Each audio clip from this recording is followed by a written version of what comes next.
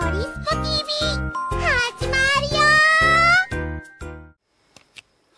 うー。んあまりにもショックでしたねあの事故しかも相手がプリウスでって彼女は彼女って言っても彼氏彼女の彼女って言ってるわけじゃなくて普通に彼女ですあの彼女っていうかその呼び方ねうん引きが強えなって昔から俺思ってましたまず一番最初にメリノチャンネル紹介してくれたのは自分の親友が紹介してくれました。ドラッグスターに400人乗ってて女子ライダーでなんかフリフリの服着てその動画見すごい面白いから見てみてって言われてえあれ？言ったかな？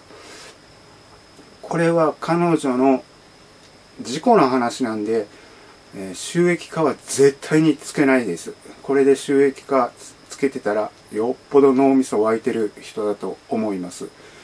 えー、とまあ例外はあります。あとは収益化つけないっていうのと途中まででしたね。その北海道ツーリングがすごい大好きでした。うんただ全部は上がってなかったんです当時は。なんかメリノが湧かないから動かないよっていうので動画がストップしちゃってたんですね。でもともと彼女は、えーニコニコ、うん、そっち派だったみたいんでそっちが全部上がったら YouTube 上げますって風の噂で聞いたんで待ってましたね。本当に。一番最初に自分チャンネル登録したのが YouTube で、えーメリノさんです。はい。メリノチャンネルです。いやーでもいやショックですよね。喋れねえ。うまく喋るか喋れるかどうかわかんない。あちなみに北海道ツーリングシリーズあとは栃木県のなんだ大笹牧場の動画、えーなぜか消えてしまいました。どなたかその理由を知ってる人いたら、えコメントください。はい、えーそしてその北海道ツーリングが大好きでそれはいいや。もうそろそろ行きますね。彼女は引きが本当に強い。普通そこは引けねえだろうっていうとこビタッと引くその力。そう。そして北海道ツーリングまた見ようと思ったらこれですよ。アカウントバン。はい。メールのチャンネルアカウントバン。いやビビりましたよ本当に。あれっつって見れ,、ね、見れないんじゃないかっつって。どうしたらいいんだろうっつって。どうにもできないですけどね。はい。いやアカウント版もそりゃわかんない。誰が食らってもおかしくはないと思いますがよっぽど変な動画を出したらそれはバンされますよ当然。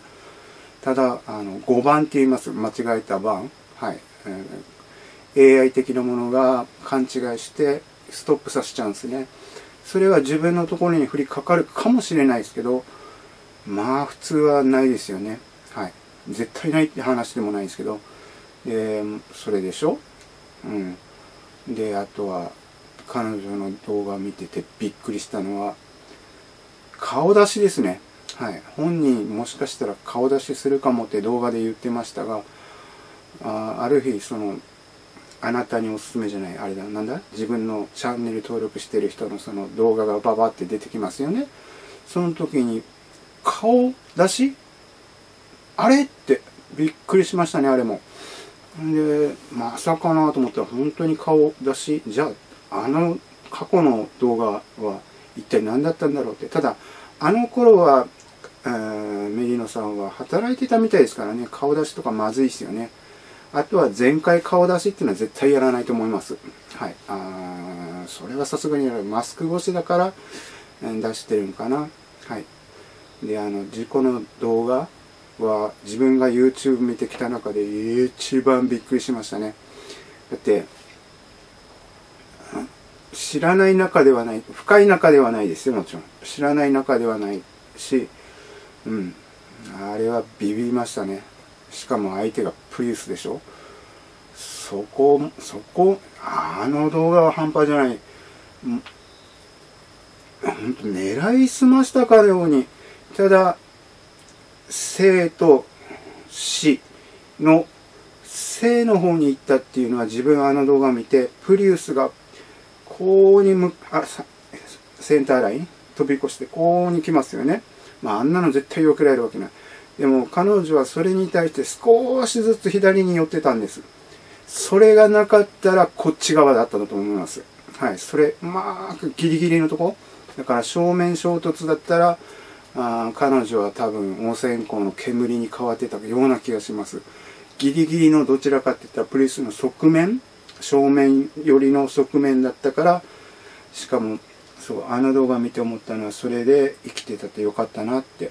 あとはあれですねヘルメット まあ脱げちゃったんですけどまあいちいちほとんどのライダーがそんなきっちりこっちりきっちりこっちりやんないと思いますよ顎ひも自分もなんかフィーリングだけで。うん。ただこれ変な言い方かもしれないですけどあのヘルメットが飛んじゃったおかげでうんあのカメラがいい仕事をしてくれてその全ての状況が見れたっていうの。はい。うん。とにかくその後はね本当に頑張ってそういう動画自分上げられるかって言ったら自分がああいう思いしてそういう思い出しちゃいそうでなんか上げられるかどうかっていうのはちょっとわかんないですけどで誰かが質問してましたね。どうなんですかってそういう動画上げる時の気持ちっていう人。は本人はなんかもう上げたくて上げたくてワクワクしてたっていうこれがもう大物の小物の違い。あとは自分が事故前は確か記憶の中では彼女のチャンネル登録数2万の前半だったと思います。それがあの事故動画出してから4日ぐらいでもう4万人やってましたね。今では5万ですからね。もう満単位で増えていっちゃってるって。それもいいことなのかどうなのかもよくわかんないですけど。まあ上がれば上がるほどいいいいには決まってますよね。ただあの自己動画の115万再生かな今。はい。ああいう動画っていうのは本当に伸びますからね。あとは彼女は一生懸命リハビリ頑張ってますよね。はい。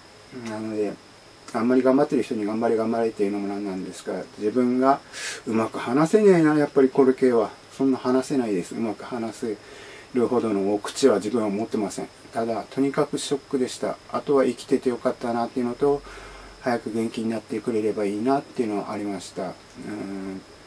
過去には本当にうんメイリノさんには本当にお世話になったんではい。あの動画はちょっと直視はできなかったんですがただ一回もう喋っちゃえば次は本当にカスタム動画にまた戻れるんで一回、えー、この話をさせていただきました。